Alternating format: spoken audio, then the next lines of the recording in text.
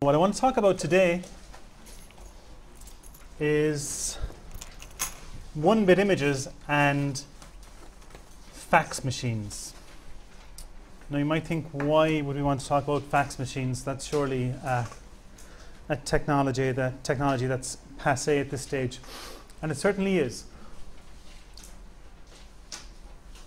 But there's a form of compression that's used very much in fax machines. So that's one thing we want to look at. But also, the fax machine illustrates how very often you take some data, you compress it,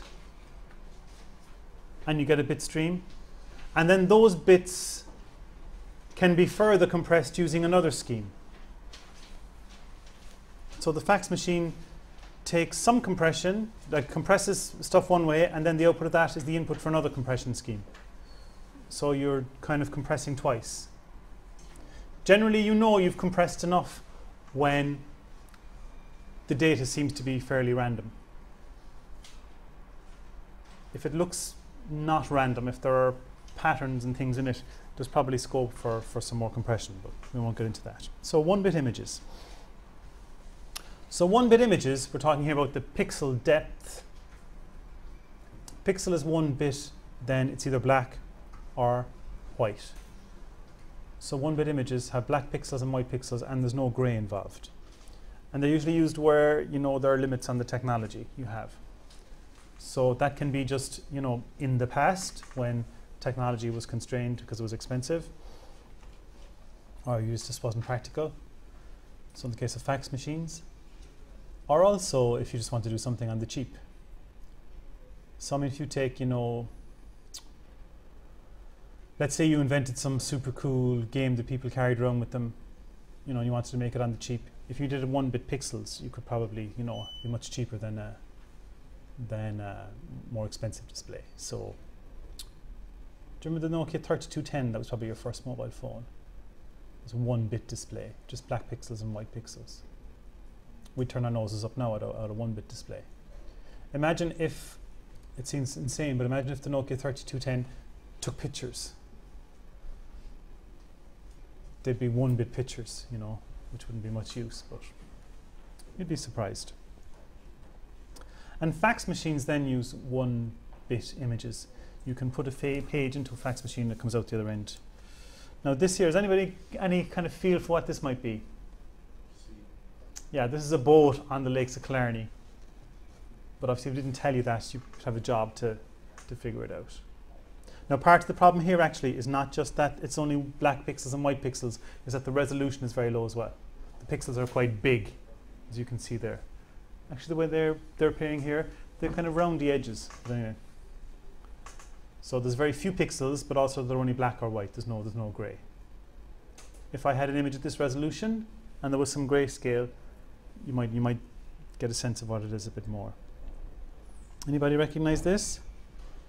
Well, not from personal use, but this is a piece of a 500 euro note. But obviously, it's only one bit, so I mean, if you went into a shop with something looking like that, you probably wouldn't, your, your criminal career wouldn't, wouldn't take you very far if you went with a, a one bit copy of a 500 euro note. So again, we've just got black pixels and white pixels. And again, here the resolution is quite poor as well, so the pixels are quite big. I thought this would come out much better because this was a stencil. This is a stencil from a piece of graffiti in Buenos Aires. And really that was only black and white anyway. Like someone took a stencil up against the wall and sprayed it.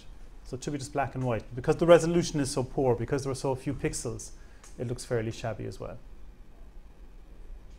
You can, you know, if the pixels are small enough, you can from a distance even get the illusion of a kind of a shade of grey and stuff with black pixels and white pixels and black pixels and white pixels and stuff.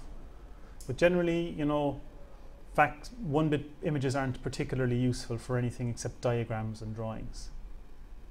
I mean, if you had a version of this page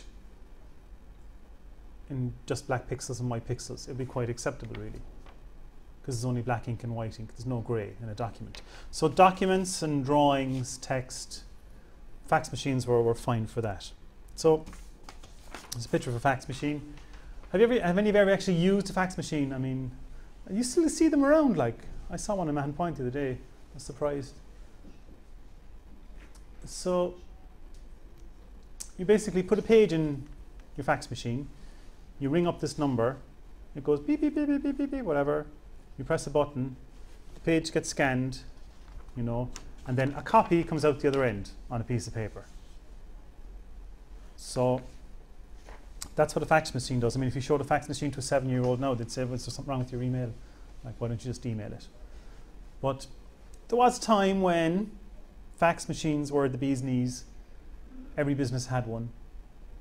They were all over the shop and um, made lots of money for phone companies. So they had a modem built in, and so the two fax machines would, would talk to each other.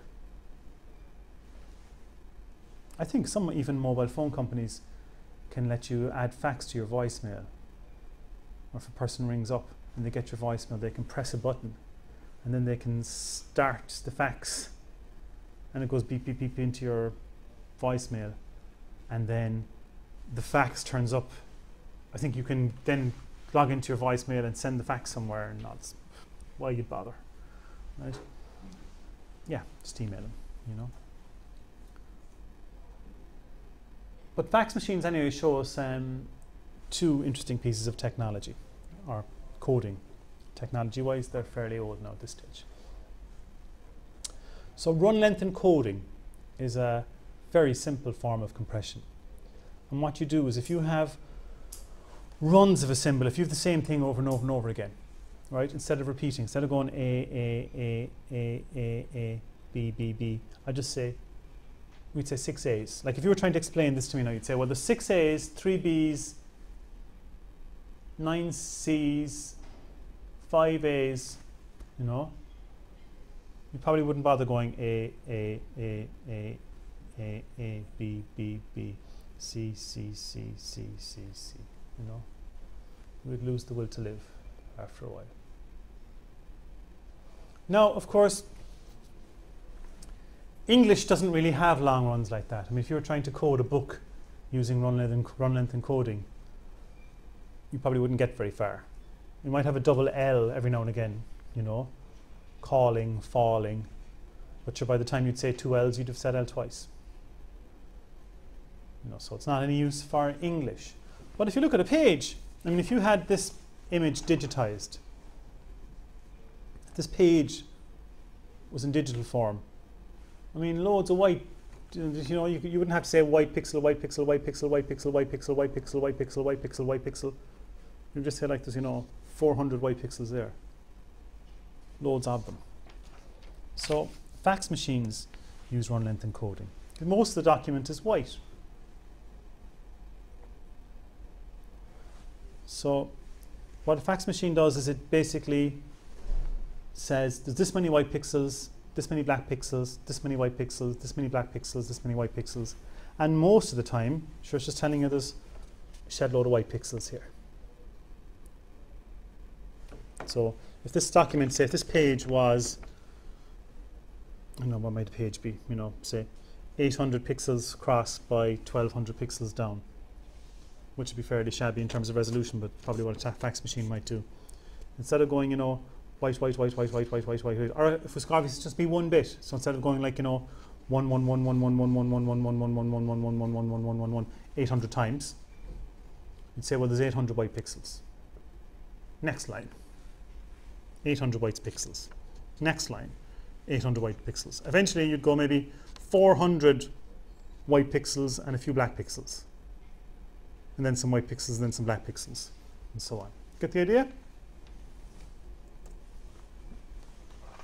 So with a fax machine, you actually always start with white. And what they actually do is there's an imaginary, if you take the, the image you're faxing, there's an imaginary white line on the left. I think it's called oversampling. So to ensure that you always start on with white. So then when you change, so if you're doing white and then you change, well then you know it's black and then it's white and it's black. And then also there's an end of line marker at the end of each line just a bit code that says this is the end of the line. So that way, if the if the receiver gets a bit lost, you know, or if a few bits go astray, well, actually, even if one bit goes astray, but at least then it only affects that line. And, and the, the receiver knows to can pick up again and start the next line.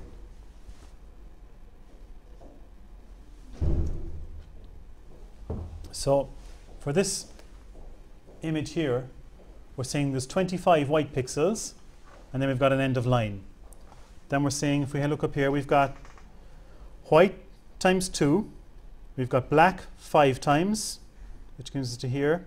Then we've got white 3 times, then black 5 times, then white 3 times, black 5 times, and then white twice. And then end of line goes on to a new line. Then we've got white 2, black 1, white, how many is that there? 4, yep, 9. So 9 white pixels, 1 black pixel, 7 white pixels according to this, yep. 1 black pixel, and then 4 white pixels, and so on. Now in this small example, it doesn't work so well, but you can see in a document like this, there are huge expanses of white. So instead of going 1, 1, 1, 1, 1 for white, you just say, you know, I've got 800 white pixels, boom, you're done, you're on the next line. So everybody get the idea?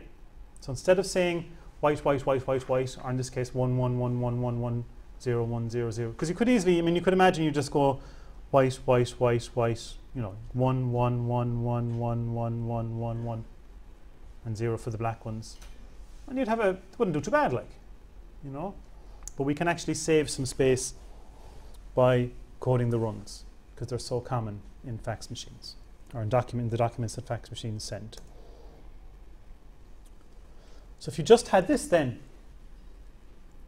you could recreate the, the image such as it is. Not a terribly exciting one. Get the idea? Any questions so far? Now, it turns out though that you can take this information, you know, white 2, black 5, white 3, black 5, and you can code that more efficiently as well then. You don't even just send that. You take this information and you compress that. Because it turns out that some runs occur more frequently than others. So the people that were designing the protocol for the fax machines, they basically had, you know, thousands of documents or whatever, a couple hundred, couple thousand, I don't know. And they coded all the runs. And then they looked at those and, and saw that, you know, obviously all white, you know, an all white line was fairly common. An all black line was fairly unusual, it was possible. And so they found that certain runs occurred more frequently than others. And so what they did then was they put that into Huffman's coding algorithm and came up with variable length codes for each of the run lengths. So if we were to look here at say white 25, they came up with a code for 25 white pixels. And that's what this is here. That's what I've given you here. So if you look here in this sheet, 25 white pixels is 0, 1, 0, 1, 0, 1, 1.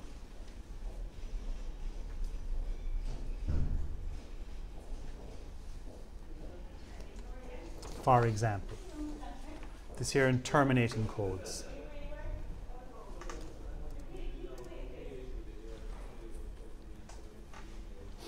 So looking from looking at this, for example, we can deduce that in the documents that they were looking at, the most common runs of black pixels were 2 and 3 pixels long. So when you looked at the chunks of black pixels, they found that having 2 or 3 black pixels was, was very common.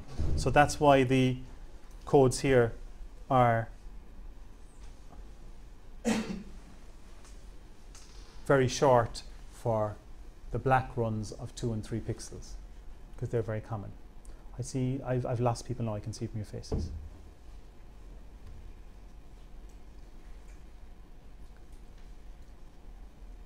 So they took the documents and they looked at see, so they had like, you know, runs of different lengths. And then they used Huffman coding to figure out codes to represent those lengths. And we can see here that because a black run length of 2 has a small code, that's an obvious sign then that it occurred very, very frequently.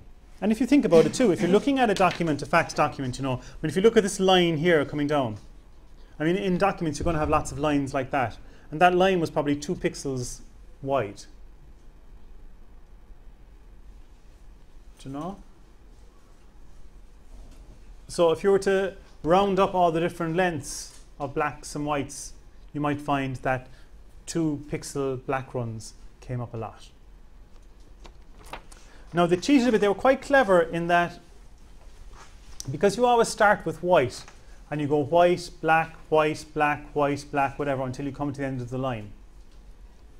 We have a slightly modified Huffman code in that we have variable length code for the white runs and a variable length code for the black runs. So the receiver has to know whether it's doing white or black at any one stage. Because if you look here, remember this prefix problem we talked about where if your phone number started with 999, you know, that would cause problems for people.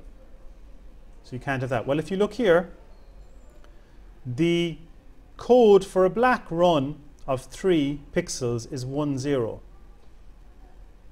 But the code for a white run of 8 pixels is, starts with 1, 0. So how do you know when you get 1, 0 whether it's 3 black pixels or whether this is the start of 8 white pixels and then you go on from there? You don't know. Well, you do know because as a receiver, you're keeping track of I'm doing white, I'm doing black, now I'm doing white, now I'm doing black, now I'm doing white, now I'm doing black. So it switches backwards and forwards that way. So as well as the codes for the runs, as well as the, the variable length codes, the receiver also needs to keep track of whether it's doing black or white in order for it to work out. So it's actually quite, it's clever enough no. It gets a bit mad then though, right? Because the runs, I didn't show you it all there, did I? This goes up to 63. You 63 black pixels or 63 white pixels. After that then, you have codes for 64, 128, 192, basically in increments of 64. And we call these ones then the makeup codes. And what these are for is to say you wanted 330 pixels, right? This table doesn't go as far as 330. So you do the 320 pixels, which is 001101110. And then after that, you do the 10 white pixels to make it up to 330. But we're kind of into the territory now of the details of fax machines and moving away a bit from kind of valuable learning experience a bit. Okay, so that's what these termination codes are. So if you have really, really long runs beyond 63 pixels, you use the makeup codes to give you like a big chunk and then you add on the rest then using those. The end of line there is down the bottom. That's um, a bunch of ones. How many ones? 1, 2, 3, 4, 5, 6, 7, 8, 9, 10. It's 10 zeros and a 1 is the end of line marker.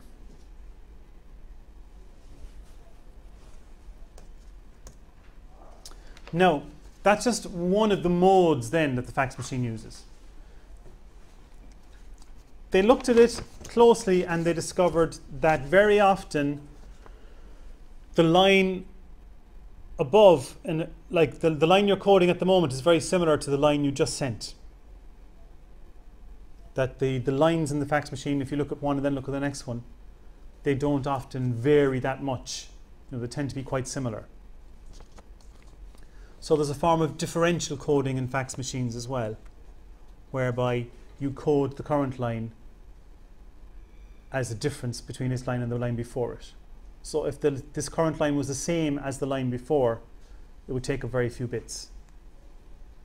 And you're only coding how it changes. Now, it's interesting that it does that, that we've seen that theme again coming up, the differential, the difference coding. Remember we saw that with the audio. Did we see it anywhere else? No, we only saw it with the audio where you code between the difference between the sample and the one that came before it. We'll see difference coding again, don't worry. So that's a theme that comes up as well, where you know this chunk here is quite similar to the previous chunk of data. So we're only going to tell you the difference between the two of them. So fax machines also do that. But I looked at that and I lost the will to live, to be honest. It was too, it was too, um, it was too dull. I put the whole spec on the podcast for you, just if you're really, really curious, you know. But um, it's not really, it's not really useful. Now, the difference, the difference coding setting is very handy if you've got an image. You know, it doesn't work so well for, for text, but you can imagine if you have an image you know, a big, I mean, you could see if I had a photograph of that painting there in the wall, which is a big black square, is it actually a big black painting or is there just something missing? Anyway, if we had a picture of that painting there, okay, you could see how the first few lines would be all white, white, white, white, white, white, white, and then we might have, you know, 400 white pixels, 500 black pixels, 400 white pixels. But then the next line would be exactly the same as the one above it. And the one beyond and below that would be the same as the one above, and the one below that would be the same as the one above. So instead of saying that over and over again, you can just talk about it being the same or how, how different it is from the one above. So the difference coding works in faxes as well, provided there's images. So if you had a very sophisticated fax, it would probably analyze the image and say, okay, that's the kind of thing now where I think I want to use the difference coding so it tells the fax machine at the other end that's what we're going to do. There was talk then of fax machines, you know, where they had grayscale, where maybe 256 shades of grey, and then there's even talk of colour fax machines. I don't know did they ever pan out. I've never seen a colour fax machine. Anyone? I think by the time they got around to it, people were just like, Mr. Feckle, I'll just email you. You know? Okay. So that's that really. Now what I have is a little exercise for you. I wasn't sure if we had time, but I think we do have time. So here's a message that a fax machine has sent. I've put in bold here the end of line bit sequences. Now looking at this obviously the end of line is so um, is so long that actually this the message because it's only on a grid of 12 by 12 pixels you'd actually been better off just you know using a whole bit for each pixel. But I just want to see how it works. So I've, I've put the end of line marker in bold, and obviously I've gone on to a new line as well, just to make it easier for you. So I want you to, using the terminating codes here, see if you can design the image on the sheets here. So that should be loads of fun. So I'll get you started off. If we look here, we've got, we know we're starting with white. So we want a, a, code word on the white side of the table that starts with 111. Is there anything there? So 1110. 1110 is a white run of 6 pixels. So that's 6 white pixels. So that's 1110 done now. So up next then we have 0, 1, 0. We'll just see if we can do anything with that. In fact, we can actually. So the 0, 1, 0 gives us a black run of 1 pixel. So that's the black. So now we're going back to white. 1, 1, 0, 0 is 5 white pixels. And then we'll end of line.